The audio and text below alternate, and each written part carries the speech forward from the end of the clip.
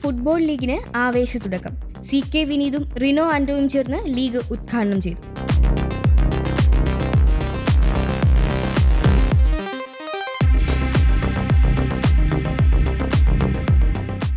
ഉദ്ഘാടന ഭാഗമായി നടന്ന സൗഹൃദ മത്സരത്തിൽ കേരള പത്രപ്രവർത്തക യൂണിയനും മഞ്ഞപ്പടയും ഏറ്റുമുട്ടി. തലസ്ഥാനത്ത് ഇനി കാൽപന്താവേശത്തിന്റെ ദിനങ്ങൾ. ഫുട്ബോൾ താരങ്ങളായ സി കെ വിനീതും റിനോ ആൻഡോയും ചേർന്ന് Lulu football league kick off ചെയ്തതോടെ പതിനഞ്ച് ദിവസം നീളുന്ന മത്സരങ്ങൾക്ക് തുടക്കമായി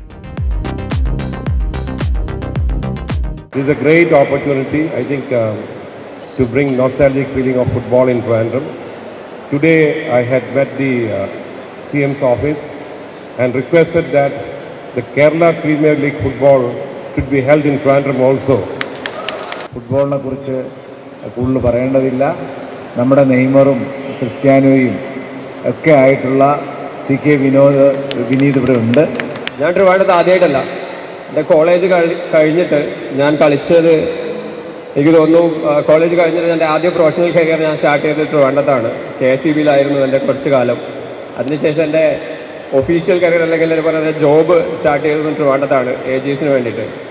അപ്പം ട്രിവാൻഡ്രം എന്ന് പറഞ്ഞാൽ എനിക്ക് വീട് വിട്ട് കഴിഞ്ഞാൽ വേറൊരു വീടാണ് വേണേൽ പറയും. ഇപ്പോഴും ഞാൻ സെക്രട്ടേറിയറ്റിലാണ് ജോലി ചെയ്യുന്നത്. കപ്പടിക്കാൻ പോകുന്നവർക്കും എല്ലാവർക്കും കളിയിൽ പങ്കെടുക്കുന്ന എല്ലാവർക്കും എന്റെ ആശംസകൾ നേരുന്നു. ലുലു ലുലുവിനോട് പ്രത്യേകിച്ച്. ഞാനിപ്പോൾ നിങ്ങളെ ഗ്രൗണ്ട് കണ്ടു ഞാൻ ഓൾറെഡി പറഞ്ഞു. അപ്പോൾ എന്തായാലും ഗ്രൗണ്ട് ഉണ്ടാവും. നിങ്ങൾ എല്ലാവരും വന്ന് കളിക്കുക ഈ ടൂർണമെന്റ് എല്ലാവിധ ആശംസകളും നേരുന്നു. എല്ലാവർക്കും വീണ്ടും കാണാം. Bye bye thank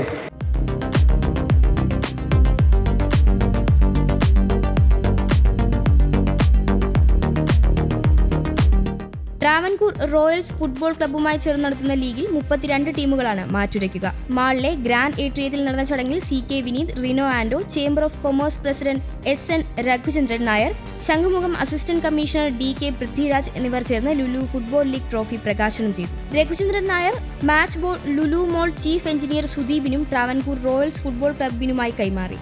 ലീഗിന് മുന്നോടിയായി മാളിന്റെ നേതൃത്വത്തിൽ ഓപ്പൺ അരീനയിൽ ഒരുക്കുന്ന ലുലു എസ്റ്റോഡിയോ ടർഫിനിൽ ഉദ്ഘാടനം assistant commissioner D K Prithviraj നിർവഹിച്ചു. ഫുട്ബോൾ ലീഗിനായി കേരളത്തിൽ മോൾ കേന്ദ്രീകരിച്ച് ടർഫ് ഒരുക്കുന്നത് സമീപകാലത്ത് ഇതാദ്യമാണ്. ലീഗ് ഉദ്ഘാടനത്തിന്റെ ഭാഗമായി നടന്ന സൗഹൃദ മത്സരത്തിൽ കേരള പത്രപ്രവർത്തക യൂണിയന്റെ ടീമായ കേസരി എഫ് സിയും മഞ്ഞപ്പട എഫ് സിയും ഏറ്റുമുട്ടി. ലീഗിലെ വിജയികൾക്ക് ആകെ ഒരു ലക്ഷം രൂപ വിലമതിക്കുന്ന സമ്മാനങ്ങളാണ് ലഭിക്കുക. November ഇരുപതിനാണ് final.